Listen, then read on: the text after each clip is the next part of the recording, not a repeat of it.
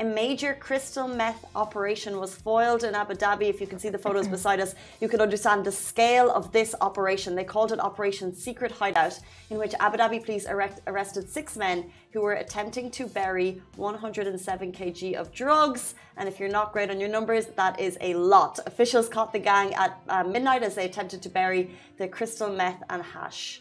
So, Brigadier General Tahir Al uh, Dhaheri said the police's integrated drug control strategy enabled it to bust a number of major drug smuggling and distributing operations.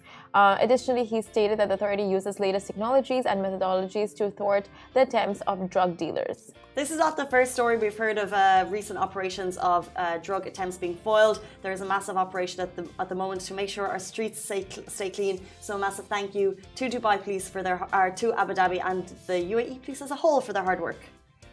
They have done it again. They are just brilliant, but